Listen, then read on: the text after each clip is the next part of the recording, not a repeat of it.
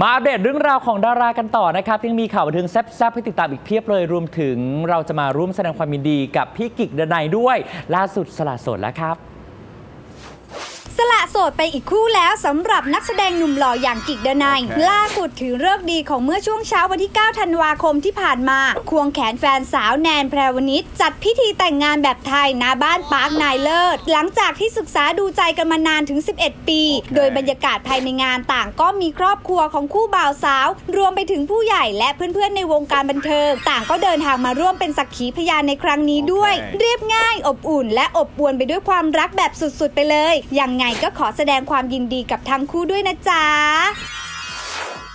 ต่อกันที่ข่าวของพิธีกรฝีปากกล้าอย่างซอมดดำคชาภาข่าวนี้ต้องบอกเลยว่ารู้ลึกรู้จริงเรื่องดารา อ่านข่าวเม้าท์ทีไรแซบสะเทือนไปทั้งวงการเลยจ้ะล่าสุดคุณแม่มดดำไปอ่านข่าวเม้าท์อักษรย่อพระเอกสุดติสต์พลาดท่าทำไฮโซสาวที่รวยมากท้อง จนต้องเตรียมประกาศวิวาห์ฟ้าแลบ ซึ่งหวยก็ไปออกที่สามีแห่งชาติอย่างอนันดาเอเวอริงแฮมและซันนี่สุวรรณเมธาทำเอาแฟนๆสามีแห่งชาติทั้งประเทศตกอกตกใจกันไปตามๆกัน แต่ล่าสุดในล่าสุดคุณแม่มดดำโพสต์ภาพและคลิปไปปะกันจังๆกับสองคนในข่าวที่เคยเม้าท์บอกว่าเมื่อเราเจอคนที่เราไปนินทาเขา อ่านอักษรย่อเขาสองคน บอกนั่งดูเราพูดถึงเขาว่าปฏิกิริยาของคุณแม่จะเป็นยังไงไปชมคลิปเลย Okay. คนสงสัยสถานะความสัมพันธ์มาพักใหญ่สำหรับบีน้ำทิพย์และแฟนไฮโซหนุ่มพิมพ์อิสริยะโอเคที่พักหลังดีกรีความหวานจะน้อยลงเหมือนแทบไม่ค่อยได้เจอกัน แถมดาราสาวเองยังชอบทวิตข้อความโพสต์สตอรี่ไอจีดราม่าอยู่บ่อยๆ จนแฟนคลับหลายคนทักว่าทั้งคู่แยกทางกันแล้วหรือเปล่า ล่าสุดเจอตัวสาวบีเลยต้องขอเจ่อไมค์ถามถึงสถานะหัวใจตอนนี้กันสักหน่อย สรุปแล้วยังรักหรือจะเลิกไปฟังจากปากเจ้าตัวกันเลยค่ะ Okay. ก็เรื่อยๆค่ะเรื่อยๆค่ะ ตอนนี้คือเหมือนเราเล่นทวิตเตอร์ค่ะ แล้วมันเหมือนแบบ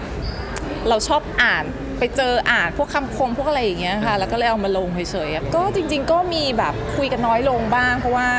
ต่างคนต่างทำงานอะไรอย่างเงี้ยค่ะห่างกันไหมอะคะก็ห่างๆกันนิดนึงอะไรอย่างเงี้ยค่ะค่ะ แต่ว่าสถานะยังเหมือนเดิม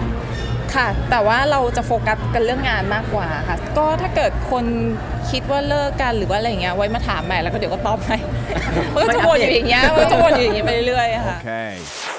อีกหนึ่งคู่สดๆร้อนๆสำหรับนักร้องสาวเสียงดีขนมจีนกุลมาศและไฮโซหนุ่มรูปหล่อเคนขันเพชรล่าสุดเมื่อช่วงเช้าของวันที่ 10 ธันวาคม คู่บ่าวสาวป้ายแดงก็ได้จัดงานพิธีมงคลสมรสแบบไทย ที่โรงแรมหรูเดอะเซนต์รีจิสกรุงเทพกับบรรยากาศที่อบอุ่น โดยมีผู้ใหญ่ที่เคารพและเพื่อนสนิทเดินทางมาร่วมแสดงความยินดี ส่วนงานพิธีฉลองมงคลสมรสของขนมจีนและเคนจะถูกจัดขึ้นในวันที่ 21 ธันวาคม ที่โรงแรมอินเตอร์คอนติเนนตัล